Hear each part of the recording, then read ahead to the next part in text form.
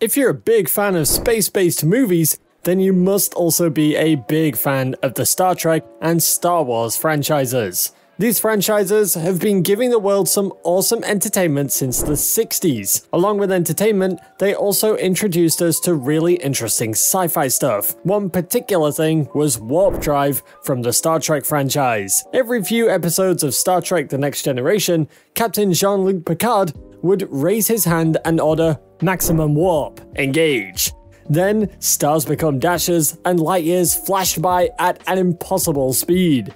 But did you ever wonder what this warp drive exactly is? Let's take a closer look at this concept. To overcome the boundary. First of all, we humans are curious and we want to know the unknown. One of the biggest unknowns is space, as we have only discovered 5% of it.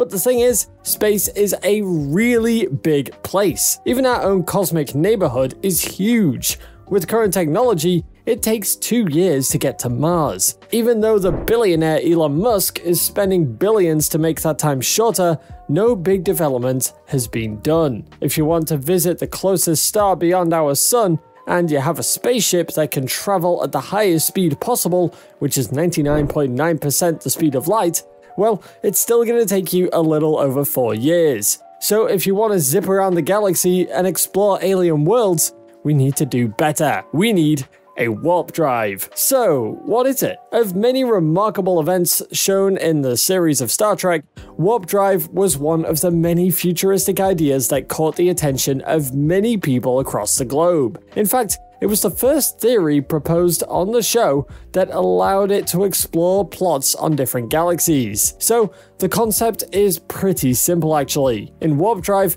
your spacecraft can travel super fast, even much faster than the speed of light which will allow humanity to explore space pretty easily. This was a basic idea in science fiction long before Star Trek popularized the name Warp Drive, but until 1994, it had remained science fiction, meaning there was no science behind it. Alcubierre with actual science. In the year of 1994, Miguel Alcubierre, a theoretical physicist, developed a theory called Alcubierre Drive which can be traced back to the ideas shown in the world of Star Trek. Get ready to be mind blown. To put it simply, the method of Alcubierre's space travel involves stretching the fabric of space-time in a wave, which would then cause the space ahead of an object to contract, while the space behind would expand.